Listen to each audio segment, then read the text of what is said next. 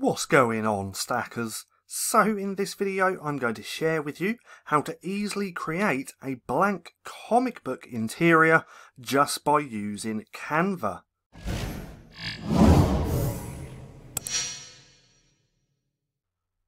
So welcome back to StackinProfit. My name's Paddy and over here we give you the tools and resources to learn, grow and master passive income streams so that you can live a life of freedom.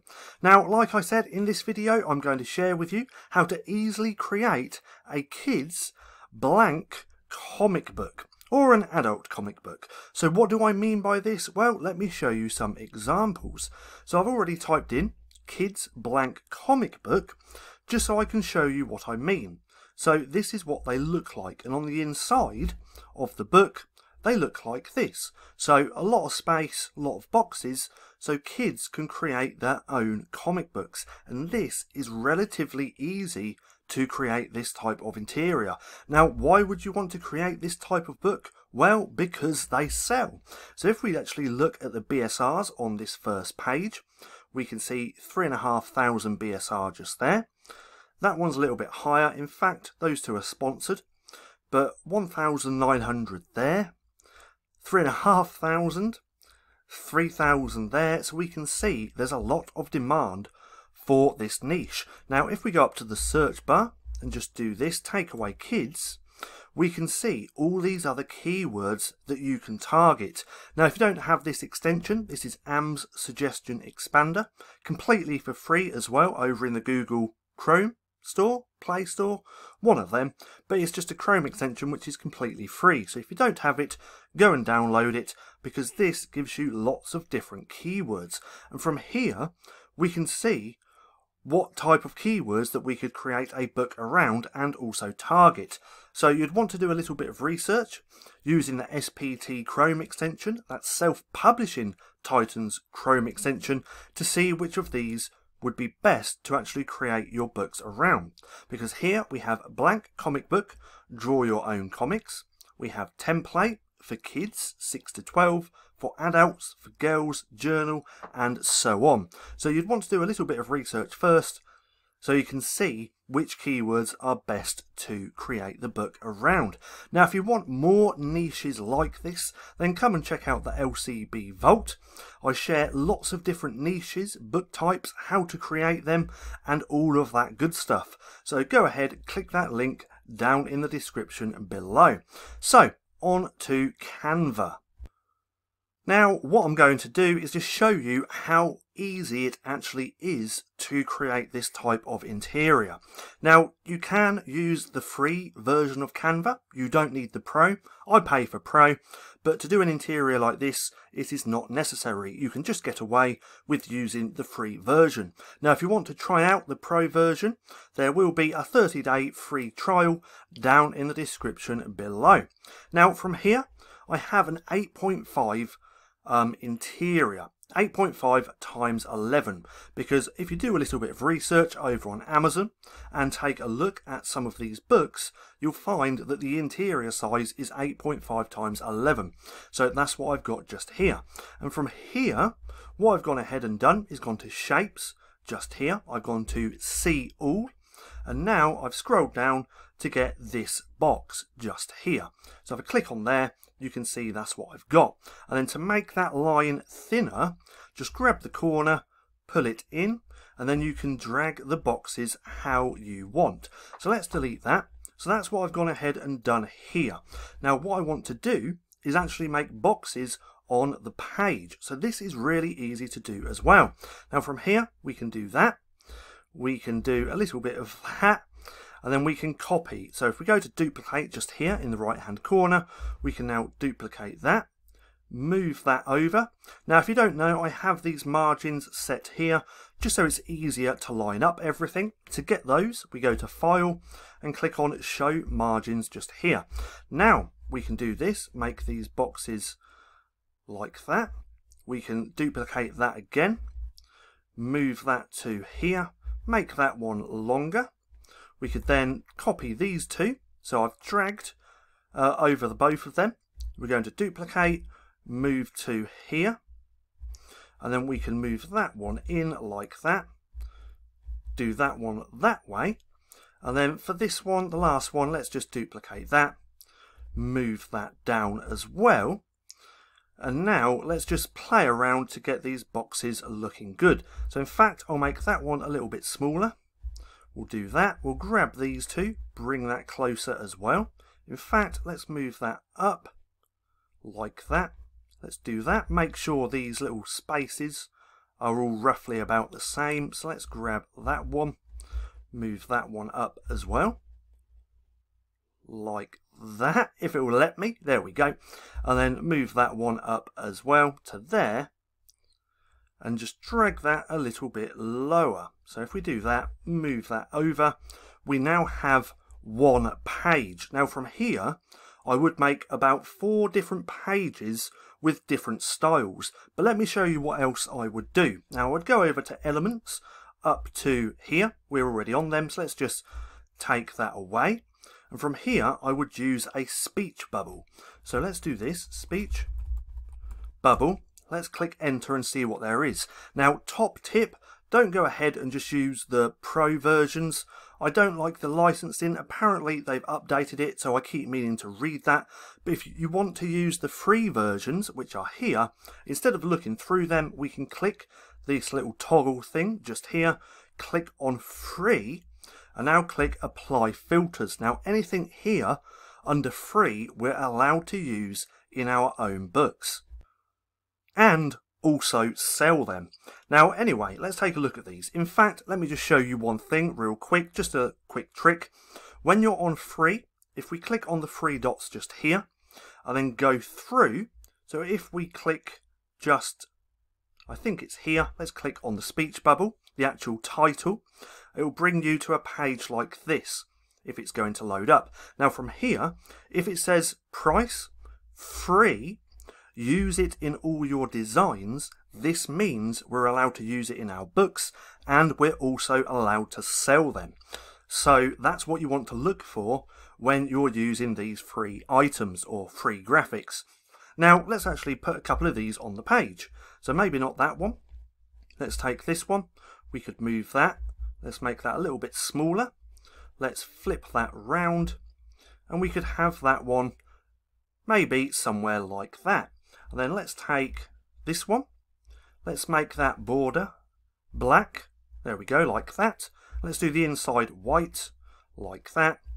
And now here, we could move that down to here.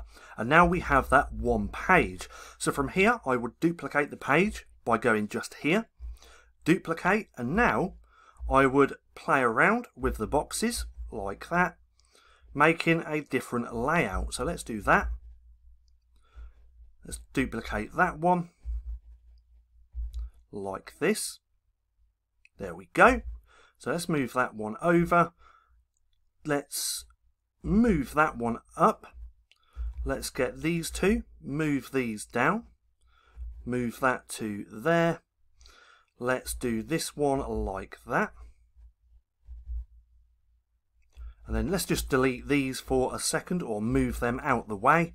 Now let's make these little spaces a little bit smaller, like that. Let's move this one down. In fact, let me just zoom in. So here's a top tip. If you're using Canva to create and you're trying to get that space a little bit smaller, but it keeps clicking in place like that, what you want to do is just zoom in. So let's go to 125. And now it's easier to move as we can see. So that's just a little top tip for you right there. Let's take this one, let's move that in. Maybe do that and just move that down. There we go. Now let's zoom out. Looking good. Now obviously I would spend a little bit more time doing this. For this example I'm just doing it fairly quick so the video's not too long. Now from here we can move these bubbles as well. You don't have to have bubbles or speech bubbles. You don't have to have anything. You could just have the plain boxes. But this is just what I like to do. In fact, let's duplicate that. And let's move that one to there. Let's move that one over to there. Flip it around. And there we go. So now we have two different styles for the interior. So we have that one there and that one there. Now, like I said nearer the beginning, I would create probably around four different styles and then I'd just duplicate them throughout the book. So now let's imagine that I have four different styles just here. All I would do now to make the book longer, get it to that 100 pages, is duplicate. So I would duplicate this and then I'd move it down. So now, if we go up, they're going to be, what's the words? We got one here, and then we got the second one there, and then back to the first. So if this was four styles, I would put this right down to the bottom, and then I would go to the second one, duplicate that, move that down as well. So now we can see that it's starting to take shape. Now again, I'd just keep doing this. So I'd go up to that second one, duplicate, move down. Then I'd go to that one above that, duplicate, move down. Now remember, that's only on two pages. If it was four, I would go one, two, three, four, up to here, and then I'd duplicate that and then move that down to the bottom. This way, you're not getting the same interior, no, the same style on the next page. They're going to be, I can't think of the word, but you know what I mean. So that's what I would do. I would just keep doing that until I have a hundred page interior. Then once I've done that, I would go to download. So let's just pretend we have a hundred pages. I'd go to PDF, print, go to all pages. This would say 100. I would click on all just here and then I'd click download. Now we're going to do something else in a second because in Canva you can only duplicate a page up to a hundred pages. So if you want your welcome um, page, you're welcome, something like that. I can't remember the name either, but you'd want something like this on the front page. Now, like I said, Canva only gives you the option to create a hundred pages, so you would have to merge them together. So I'd do this separate, like in here, this blank comic book belongs to, then I'd have a little copyright down the bottom with your pen name just here. Then from here, I would also download this. So I'd do that, go to PDF print, like that, all pages, and then click download. Now, this is where we merge those files together. So what do I use for this? I use I Love PDF. So from here, I actually started doing this in an incognito window now because they limit you if you don't. So there's only a certain amount of times that you can use I Love PDF, the merger, I believe, in one day. So from here, I'd go to ilovepdf.com and go to this one, merge PDF files. Now, like I said, I do this in an incognito window now, just because it's a lot easier and I don't get any limits because I use this tool quite a lot. So from here, let's choose those PDF files. We're going to click select PDF files go right here. That's my Amazon advertising invoice. We don't want that. So we'd go to here. I'd go to there like that. Open. And now we just made got to make sure they're in the right place. So I've got the front just here and then the interior just there. All looks good. And now I'd go to merge PDF.